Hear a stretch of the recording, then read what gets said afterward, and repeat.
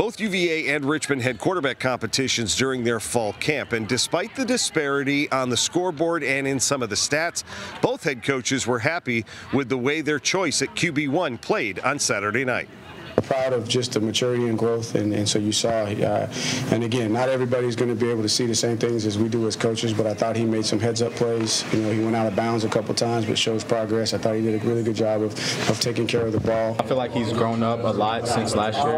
Over the uh, offseason, he's put in a lot of work over the ball security and just learning how to grow and mature and be that uh, guy that we need. It's even though that we were, we were getting pushed back pretty hard sometimes and, and losing, but I think our confidence was growing. Like we knew we could get down the field. I think was really good that we scored before half. I thought our running backs looked really good. I thought Kyle played really well, played hard. Um, and so, you know, it, it's hard to figure out what to take away when you play a BCS school. Anthony Colandrea had nearly 350 yards of total offense for the Cavaliers and more importantly did not commit a single turnover. They open their ACC play on the road next week against Wake Forest while the Spiders have their home opener against Wofford. At Scott Stadium in Charlottesville, Lane Casadonte, CBS 6 Sports.